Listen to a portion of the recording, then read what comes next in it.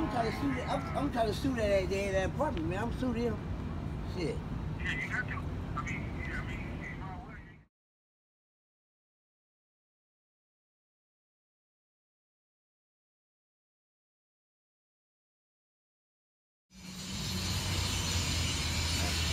Alright, you guys, I'm sitting on the bus stop. Now, see how I feel. The reason why they put these lumps in here, the motherfuckers won't be laying down and all that stuff, disrespecting everything. You know what I'm saying? Mo got to sit up at the bus stop, not lay down. That's why they had these hoops here. So your ass can lay down unless you a midget.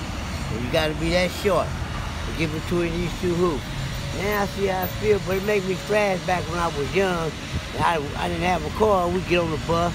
You know, our bus stops was wooden. These are more wooden because they'll tear these up.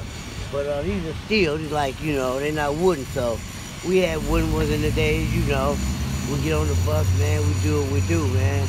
You know, so I don't knock nobody for sitting down on the bus, but you shouldn't be laying down on the bus because other people want to sit here and, and go. They got to go somewhere also, and it's going to sit, sit down, not to lay down. So no disrespect to nobody, the people on the street. Give that respect to the people that really going to work or sit down instead of putting all your stuff up on the benches.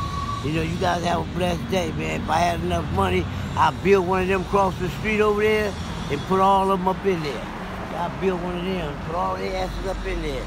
Until they get themselves together, then you come on out. All right, man, I'm going back to the laundromat, man. I Got to get my stuff up out of here. You know, this the hood. I don't worry about nobody stealing this shit. Ain't nobody gonna steal, nothing. They don't even kidnap kids around here. Them motherfuckers so bad, they bring the motherfucker back. That's real talk. You know, but like I say, bro, you know, checking all this shit out, man. Don't give time, you know. And I'm back. Like I said, I'm back to the line. You know, how y'all doing?